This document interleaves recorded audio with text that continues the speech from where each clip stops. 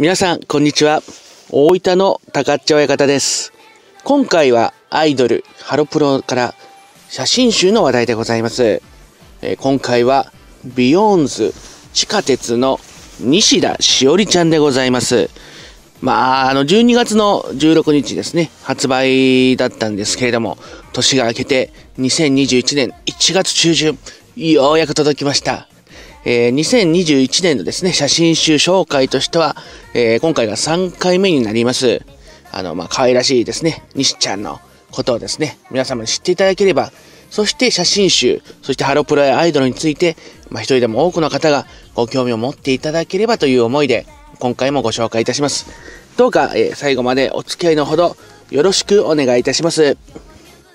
それでははじめにまず西田しおりちゃんのプロフィールをご紹介いたします。2003年6月7日生まれ、京都府出身、起きました。B 型です。えーね、何度か、えーこのですねあ、写真集動画をですね、ご覧いただいている方には、まあ、ピンとくるかもしれませんが、私、親方は結構あの B 型の女性が好きになるという傾向がございますし、何を隠そう、えー私が B 型だから、ついこう注目するということがございます。そしてあの、恥ずかしながら、あ、しおりんって、あ6月7日生まれなんだっていうことにびっくりしました。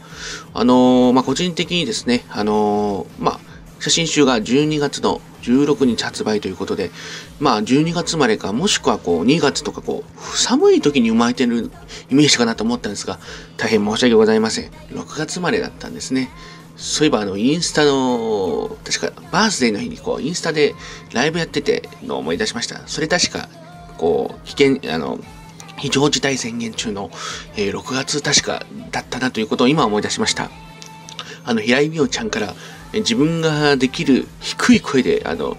日本の DNA のオープニングやってって言ってから、しおりんが、えいよ、1億2600万人のジャパニーズっていうのがもう正直面白くて、あの、なんかもう、ろれつが回ってないというか、もう破綻してるって言ったらあれですけど、とにかくインパクトがすごかったので、まあ、あの、アーカイブが残ってはないと思うんですけど、ね、あの、非常に面白いのを思い出しました。えー6月生まれなんですね。そして、えっ、と、ハロプロにはですね、えーまあ、研修生で2016年から入ったんですけれども、えデビュー自体は2018年の6月9日ですね。ビヨンズのうちの一つのグループ、地下鉄の一員でございます。えニックネームはですね、西ちゃんとか西とかしおりんっ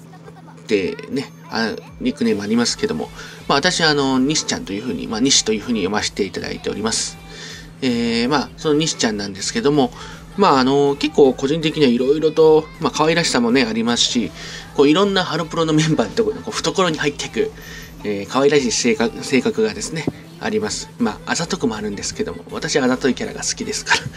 はい。まあ、特にですね、えーモーニング娘。2-1のリーダー、そしてハロプロ全体のリーダーであります、福村みずきちゃんがとにかく憧れで、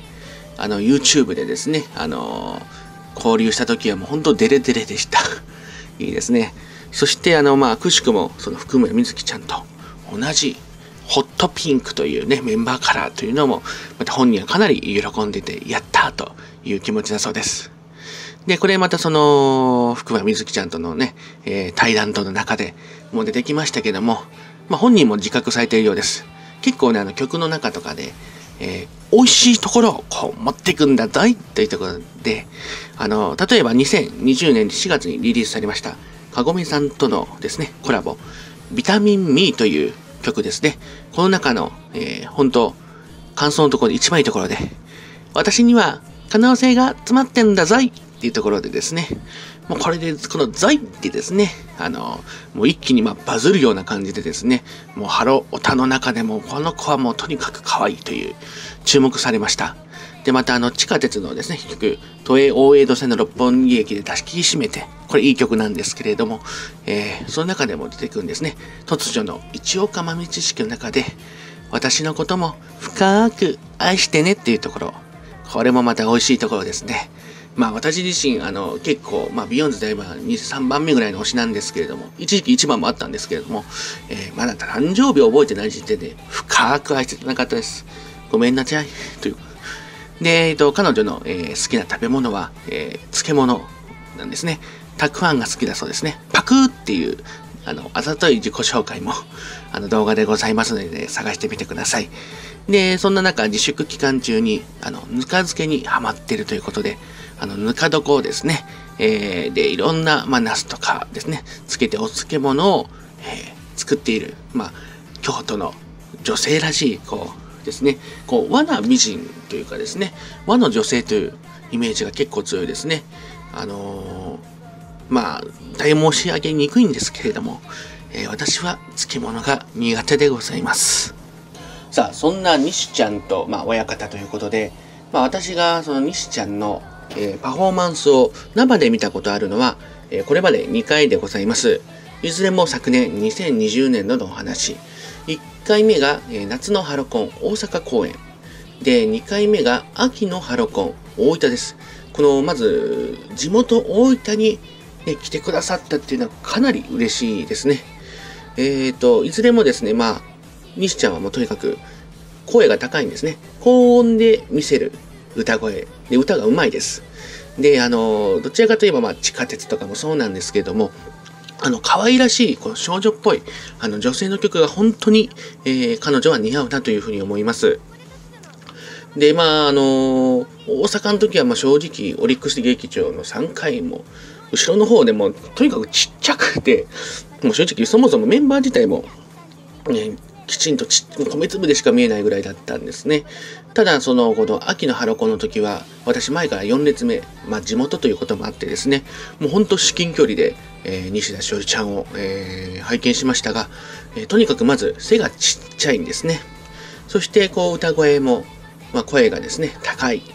ですね。そして、こう、目がですね、やっぱこう、クリッと大きいタイプ。そして、メンバーカラーがピンク。私もサイリーブね、ピンクを振りましたけども、えーこれらの状況から見て、あの、大分公演の時の動画でも、えーご紹介をいたしましたが、あ、これ、西田しおりちゃん、あの、雰囲気的に、あの、椿ファクトリーの朝倉キキちゃんに似てるなというふうに思いました。ほんと小柄で可愛らしくて、で、こう、ね、あの、椿のエースの一角ですね。で、弟子にちゃんもですね、この BEYOOOOONDS と、いや、そして、ハロプロをですね、引っ張っていく、まあ、リーダーというか、エースになってほしいなっていう気持ちがもうとにかく強いですね。特にこの2003年世代っていうのは、今年、えー高校2年生、17歳世代、今、ハロプロも増えてるんですけども、えーかなりあの注目の次世代エース世代世代ともね、呼ばれています。 BEYOOOOONDS ですと西田汐里ちゃんと江口紗耶ちゃん。ですね、えーモーニング娘。2-1は北川里央ちゃんとかですね、アンジュルも今増えましたね、伊勢レラちゃんとか、笠原桃奈ちゃんとか、ね、為永しおんちゃんですね、そして川名凛ちゃんと、まあ、ほとんど他にも多分いらっしゃると思うんです、ちょっと思いつかないんですけども、この世代、本当にあの、あの注目されてますし、あの、結構仲もよくやってますので、本当あの、西ちゃんもね、これからの春プロをね、また5、6年と引っ張ってほしいなというふうに思っております。えーそれではですね、西ちゃんのじゃあ写真集、しおりの紹介をいたします。こちら2020年の12月16日に発売されました。えーこれですね、あの、西ちゃんの出身地、京都で、えー撮られたものです。この、まあ、あの、公式でも出たんでしょうかね。あと、こう、ネット上で、このサイン本でですね、中に書いてたんで、ご本人書いてたんですけども、まあ、自分がこのビヨンズを選ばなかったら、まあ、こんな感じの、まあ、女子高生になってたんだろうなっていう雰囲気で、まあ、コンセプトとか、まあ、取られたようでございます。まあ、ということで、現役の女子高生ということで、あのまずですね、あの制服のシーンが結構多いです。まあ、制服がね、やっぱ西ちゃんにやってます。まあ、よくあるのがですね、高校卒業するとこうもうコスプレになってしまうという、ですけれども、まだ西ちゃんは現役の高校生、JK でございますんでですね、まあ、ある意味でこうリアルタイムのこの旬な姿をなんか拝見できているような感じでございます。で、続きまして、えっ、と、まあ、これ、今まで見た中でなかなかなかったのが、えー弓道のですね、弓道着を着ている、袴を着ているというのが、まあ、こう、西田しおりちゃんらしいというか、まあ、浴衣姿もあって、こう、いわゆるこう、京都風な、まさにこう、和な感じの雰囲気があるというのが、こう、面白いですよね。こう、水着とか、まあ、部屋着とかが多い中で、まあ、前回紹介、ね、 BEYOOOOONDS で前回紹介したのは、里吉うたのちゃんですけど、彼女の場合はアラビアンな格好が似合ってて、まあ、西ちゃんはこの弓道着も似合っててかっこいいなというふうに思います。でですね、こう全体をざっと今見てですね、あのー、感じたのが、これ途中から、あの、モーニング娘。21の真莉愛、牧野真莉愛ちゃんに似てるなという風な感じがしましたね。あの、髪型、長い髪型で、バーってストレートで、そして、あの、目がね、パッチリ二重で大きくて、まあ私タイプなんですけれども、そして、こう、まあピンクね、メンバーからがピンク系統ということで、あのー、先ほど紹介した、まあ、つばきファクトリーの浅倉樹々ちゃんにも似てますし、まあ、同じビヨンズ、地下鉄の、えー、島倉りかちゃんにも私似てるなという感じがしまして、まあ、要はですね、こう西ちゃんって、よう考えたら、ハロプロの顔なのかなというふうに感じました。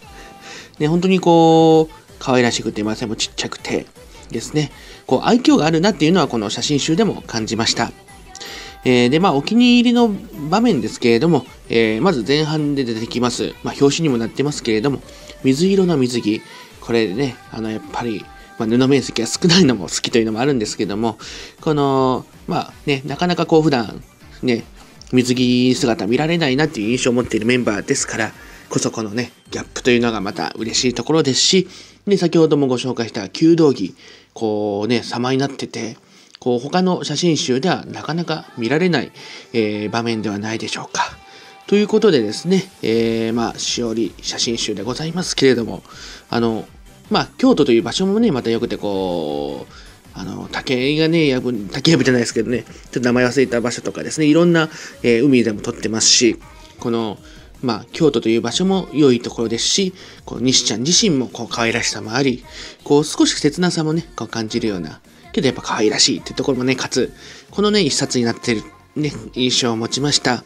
あの、まあ、和なところが結構多いかなというふうな感じがしておりますので、あの、皆さんぜひ一度ですね、手に取ってですね、西ちゃんやその京都の魅力をですね、感じていただければ幸いです。あなんかしばらく京都行ってないんで、ほんと京都私も行きたいんですけれども。